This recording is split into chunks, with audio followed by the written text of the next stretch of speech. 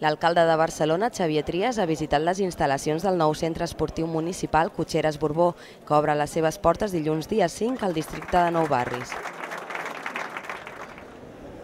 Finançat amb fons públics municipals i amb capital privat, disposa de dues piscines cobertes, petites piscines de relaxament, quatre sales d'activitat, sala de fitness i un poliesportiu amb capacitat per a 340 espectadors.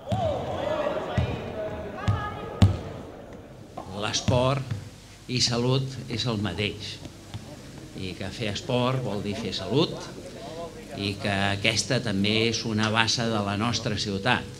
L'aposta d'aquesta ciutat és una aposta per la qualitat de vida, per ser un referent del benestar.